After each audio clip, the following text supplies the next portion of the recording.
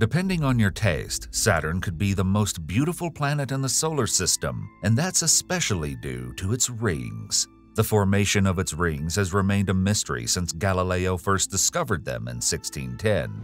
Now, scientists at the Massachusetts Institute of Technology and the University of California, Berkeley, using data from NASA's Cassini mission, suggest the planet's rings could be from an ancient missing moon.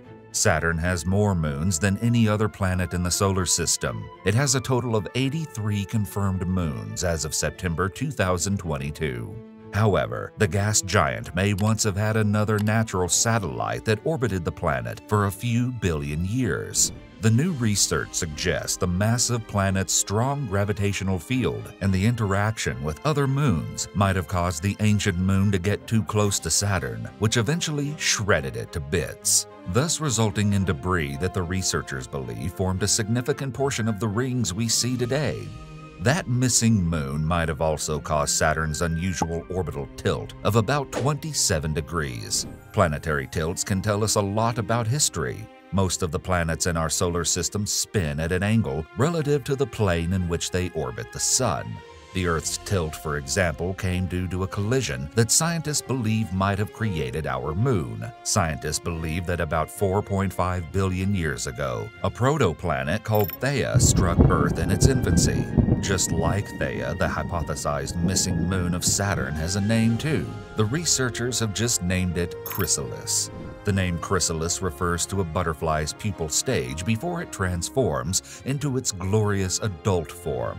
As a butterfly emerges from a chrysalis, the rings of Saturn emerged from the primordial satellite Chrysalis, said Jack Wisdom, lead author of the study published in the journal Science that we have linked in the description below.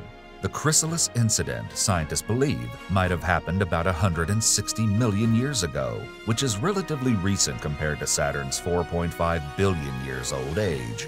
The new model shows about 99% of the chrysalis wreckage ended up in Saturn's atmosphere, while the remaining 1% stayed in orbit around the gas giant and eventually formed the Large Ring System. Estimations suggest Chrysalis, which was probably mostly composed of water ice, was about the size of Iapetus, Saturn's third largest moon, which is about 910 miles in diameter. Saturn's rings are also mostly made of particles of water ice, ranging in size from smaller than a grain of sand up to the size of a mountain.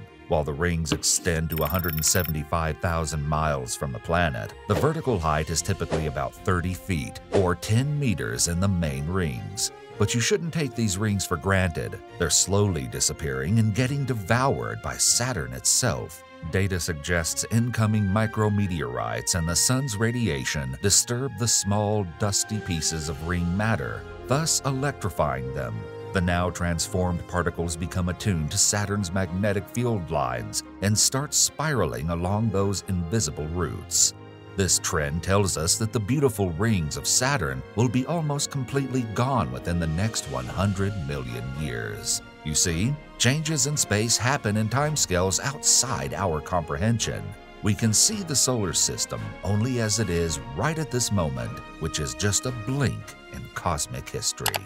Don't forget to watch the video on the right and subscribe. Thanks for being part of Cosmoknowledge.